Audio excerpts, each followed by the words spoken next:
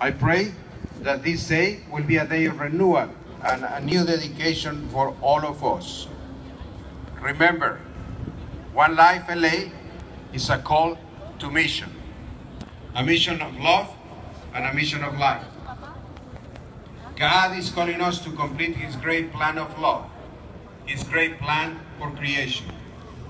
God is calling us to go out into the world just like Jesus did, reaching into, into the dark, darkest corners of our society where there is so much suffering and pain. We need to reach out in love to the woman who is pregnant and who is feeling lost and alone, to the refugee and the immigrant, to the prisoner, the homeless, the sick, and the disabled, to the elderly and those who are, are suffering and crying for help. No one should go unnoticed or unloved in our society.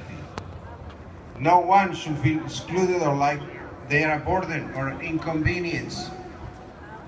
Wherever dignity is denied, that's where we want to be. This is One Life LA.